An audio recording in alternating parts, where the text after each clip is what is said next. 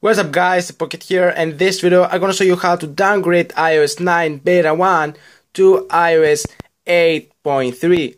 So let's get started.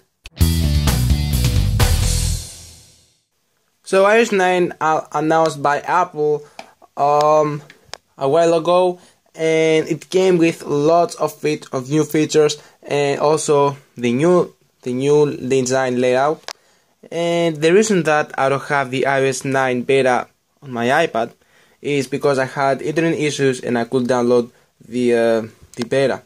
But now it's okay, I have fixed it and I don't have time to download right now because I need to do the video. And yet, and yep, so let's get started. So what actually you need is of course an Apple device and of course a computer but you need an Apple device with iOS 9 beta in order to downgrade back. So uh, let's go on the computer to show you how to do it. So the first thing you need to do is to plug in your Apple device to your computer and connect it to iTunes and and then you need to do a quick backup of your Apple device but if you have already done it with iOS 8.3 it's not necessary to do, it, to do the right now because when you downgrade to iOS 10.3 you might won't be able to restore your your backup that you did just now on iOS 9 beta. So so yep that was the for the backups. And now I'm gonna show you how to download the firmware. So simply go on your Apple on your browser web browser and go on this website where it's called ipsw.me link in the description of course.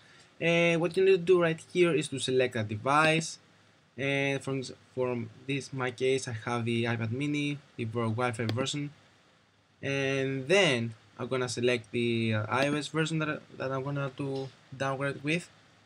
And as you can see here the iOS 8.3 is green and that means I can restore with it with iTunes so I selected the iOS version and now I'm ready to, to download it.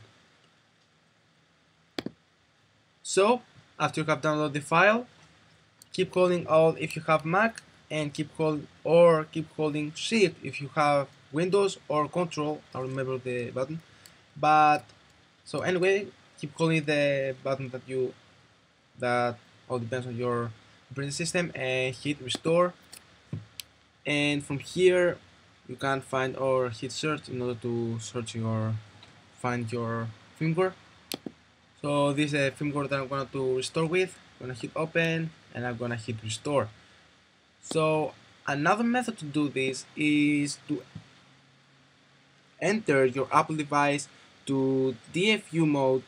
So to do this you need to keep holding the uh, power button and the home button at the same time for 10 seconds and then release the home button and keep holding again keep holding the uh, power button for 7 seconds. So do not do not release the power the power button. Only release the home button after the 10 uh, seconds have passed. Then you will see a message on your uh, computer that says that your app device or wherever it is, Apple iPhone or wherever it is, has entered on recovery mode, but actually it's the DFU mode. Hit OK and then it will ask you to restore your Apple device and then keep calling keep calling the Alt or the Shift all depends on your operating system. Again on Mac the Alt, the Windows is the Shift and then hit the, the restore and then select the firmware and then you are done. Your Apple device will be restored back to iOS 8.3. Then you will have the option to restore your previous backup that you did on your Apple device. Just hit restore backup and and wherever you have your backup, if it's in iCloud, hit iCloud, and if you have iTunes, hit the iTunes, and then uh, all your data will be restored. So I forgot to tell you that this downgrade method will release, will delete, sorry, all of your data from your app device. So that's why I, have asked you to do the backup. So that was the video for today guys, I hope you enjoyed. Please subscribe to my channel to watch my latest and tutorials and also follow me on Twitter and like my Facebook fan page, links in the description of course, to watch my latest activity and my latest uploads. Thanks for watching and I'm gonna see you next time.